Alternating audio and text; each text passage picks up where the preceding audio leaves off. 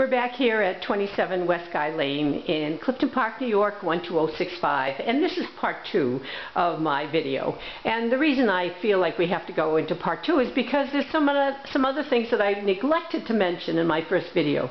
Number one, there are gutters in the house. Now, gutters, people like them or don't like them, but the fact of the matter is these gutters are directed so all the gutters go underground and direct out to a daylight drain.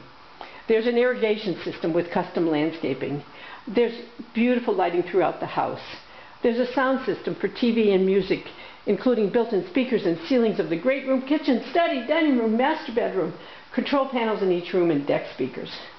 Flat screen TVs that are mounted, central vacuum system, under the counter lighting in the kitchen. You probably saw that, whether you realized it or not, when we were going through the kitchen.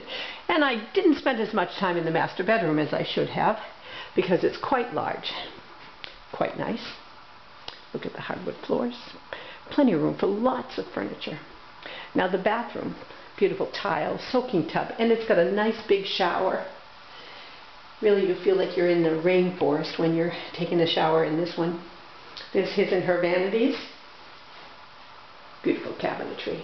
Lights. And then there's a nice big walk-in closet with hardwood floors as well.